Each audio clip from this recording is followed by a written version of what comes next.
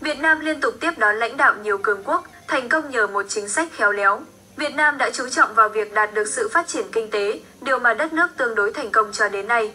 Tạp chí Intelligenio của các tiểu vương quốc Ả Rập Thống Nhất UAE phát hành bằng tiếng Ả Rập, chuyên phân tích các vấn đề chiến lược liên khu vực. Trong số ra gần đây, đã có bài viết ca ngợi đường lối ngoại giao cây tre của Việt Nam. Với sự leo thang cạnh tranh chiến lược giữa Mỹ và Trung Quốc trong những năm gần đây, Đông Nam Á trở thành một trong những khu vực chính của sự cạnh tranh này.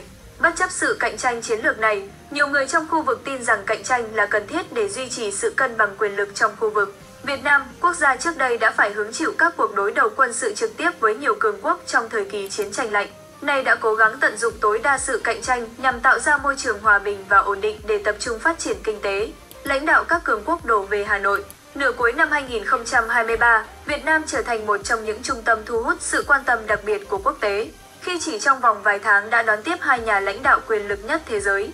Tháng 9 năm 2023, Tổng thống Mỹ Joe Biden đã thăm Việt Nam, đỉnh cao là thỏa thuận lịch sử nâng cấp quan hệ với Mỹ lên mức cao nhất của Việt Nam là quan hệ đối tác chiến lược toàn diện.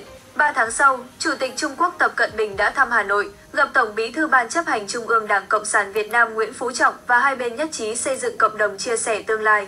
Tạp chí The Economist, Anh cho rằng Việt Nam đã khéo léo đặt mình vào vị trí nằm giữa Trung Quốc và Mỹ, khiến hai siêu cường phải tìm cách tranh thủ khi Việt Nam thi hành chính sách ngoại giao cây che cân bằng các lợi ích và cạnh tranh đan xen giữa các nước lớn.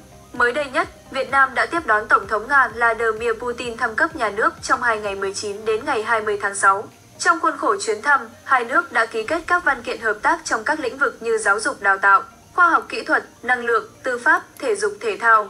Quan hệ với các cường quốc tầm trung trong khu vực cũng đóng vai trò quan trọng trong chính sách đối ngoại của Việt Nam. Tháng 6 năm 2023 bắt đầu với sự xuất hiện của Thủ tướng Australia Anthony Albanese tại Hà Nội. Sau chuyến thăm của ông Albanese, Tổng thống Hàn Quốc Jun suk yeol đã tới Việt Nam trong chuyến thăm đầu tiên đến Đông Nam Á sau khi nhậm chức. Ngoài việc trao đổi các đoàn cấp cao này, cả Mỹ và Trung Quốc đều đưa Việt Nam vào quá trình hoạch định chính sách đối ngoại. Bên cạnh Singapore, quốc gia tham gia trực tiếp vào chiến lược an ninh quốc gia của Mỹ, Việt Nam trở thành nước duy nhất trong Hiệp hội các quốc gia Đông Nam Á. ASEAN được mời tham gia một số sáng kiến mới do Trung Quốc và Mỹ dẫn đầu. Điều đáng chú ý là Việt Nam được nhắc đến trong nhiều văn bản chiến lược của các liên quan đến khu vực Ấn Độ Dương, Thái Bình Dương như Canada, Pháp, Anh, Đức, Hàn Quốc. Các nước này ưu tiên hợp tác với Việt Nam trên nhiều lĩnh vực như xây dựng cộng đồng pháp ngữ và quyền của phụ nữ, Canada, quốc phòng và quân sự, Canada và Pháp, giáo dục và khoa học, Đức và Pháp, nhà nước pháp quyền, Đức và đầu tư, Hàn Quốc, dòng vốn đầu tư vào Việt Nam. Về thương mại, trao đổi thương mại giữa Việt Nam và các nước ngày càng gia tăng trong những năm qua. Mỹ là thị trường xuất khẩu lớn nhất của Việt Nam với tổng trị giá 109 tỷ USD, chiếm 29% tổng kim ngạch xuất khẩu của Việt Nam năm 2022. Tiếp theo là Trung Quốc, chiếm 16%.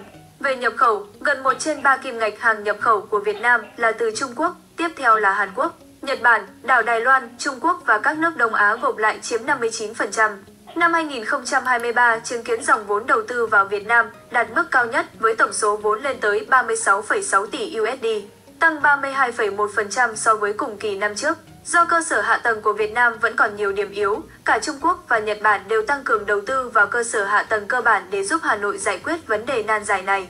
Washington cũng đã cam kết đầu tư vào sự phát triển của Việt Nam như một phần của quan hệ đối tác đang phát triển.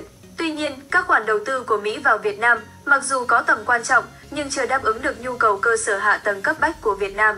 Thay vào đó, Mỹ thường tài trợ cho sự phát triển dài hạn trong các lĩnh vực như nông nghiệp, biến đổi khí hậu, y tế. Trong chuyến thăm Việt Nam của Tổng thống Biden tháng 9 năm 2023, Washington đã tuyên bố hợp tác với Hà Nội để khám phá các cơ hội phát triển hệ sinh thái bán dẫn toàn cầu.